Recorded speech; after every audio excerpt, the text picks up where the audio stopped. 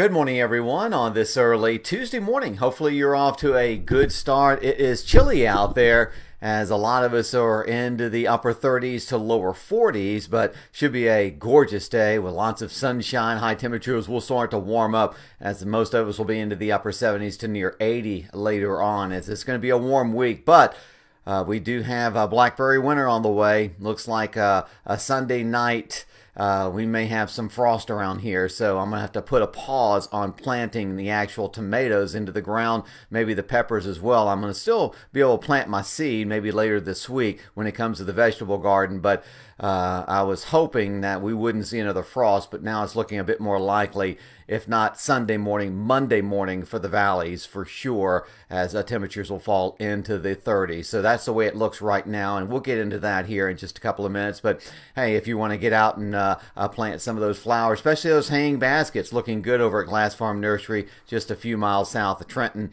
So check them out at Glass Farm Nursery as uh, they're open through Saturday. So here we go with a look at uh, what you uh, have going on right now. And once again, it is uh, pretty quiet. Regional temperatures are into the 40s, 44 Birmingham, 44 Chattanooga. But what you don't see is around the edges, Murphy into the 30s, Crossville into the 30s, and parts of North Georgia into the 30s as well as temperatures are starting out on the chilly side. Today, though, should be actually gorgeous as uh, once again we're going to see uh, temperatures warm up and uh, notice the uh, uh, temperatures back into the upper 70s, maybe close to 80 in a couple of spots by the 4 and 5 o'clock hour. Now, tonight, skies remaining mostly clear, but it's not going to be nearly as chilly as we'll be closer to 50. And then as we head into the midweek, we'll be back into the 80s as we head into Wednesday and Thursday. So this week warm, but as we head into uh, the next several days, we'll see temperatures uh, start to uh, cool as we head into uh, the weekend as our next front will move on in as we move into the weekend. There you see it by Saturday morning. As the front pushes on through, we'll back that up just a little bit, and we may see a, a few showers and storms. And some of the storms could have a little uh, zest to them as they move through Saturday because we have basically warm fighting the cold. And whenever you have that, uh, you could have a, a little uh, threat of severe weather. So that's something uh, that we'll have to watch. As earlier into the week, it did not look nearly as likely, but now these storms may be a little bit stronger as we head through the first half of the weekend.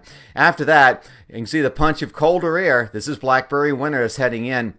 There you see it by Sunday morning. When you see those deeper blues, some areas into the 30s. So the plateau, uh, some of the mountains, you'll be into the 30s by Sunday morning. And then by Monday morning, uh, looks like a lot of us will be into the 30s, even to the valley areas. You can see that will be our most likely time of seeing frost around the Tennessee Valley, especially east of Chattanooga. But any anywhere outside of Chattanooga, uh, we could he, see some patchy frost. I don't think we're going to see a freeze, as the freezing line will be to our north. But uh, once again, even this time of year, frost can damage tender vegetation. So keep that in mind. Looks like Monday morning that will be our most likely time of seeing a frost. After that, things start to warm up. So uh, by Monday afternoon, I'll probably start to plant my tomatoes and peppers above ground. And then from there, we'll start to see some unsettled weather and some wet weather as we head into a good part of next week. So uh, a uh, little change. I was